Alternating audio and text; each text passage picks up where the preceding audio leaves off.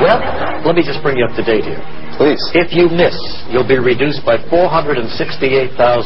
You'll go back down to $32,000. Uh, here it is.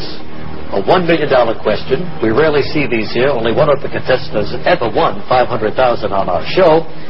So if you're ready, let's go for the million.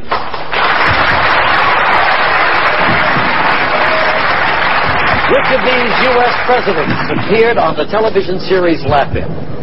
Lyndon Johnson, Richard Nixon, Jimmy Carter, Gerald Ford.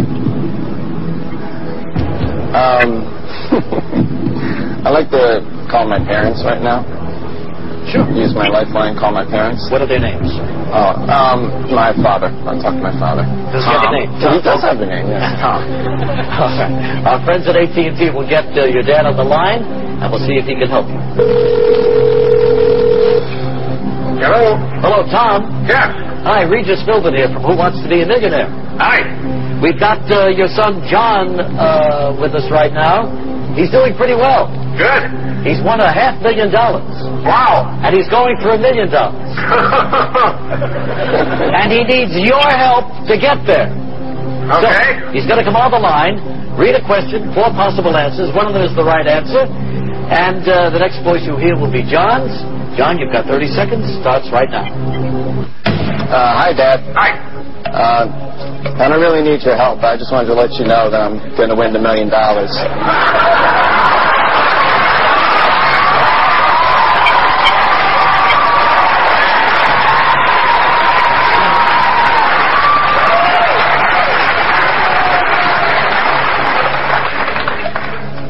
Because the U.S. president appeared on Laugh-In as Richard Nixon. That's my final answer. Well, my gosh.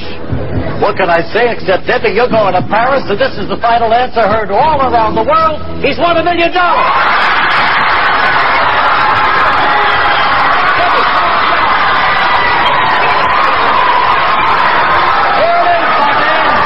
Congratulations.